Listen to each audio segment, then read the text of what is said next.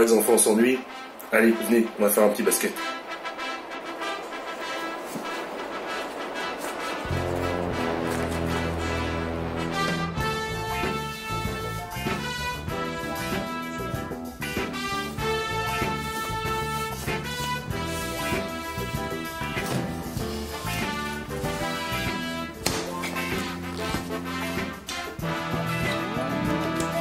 C'est parti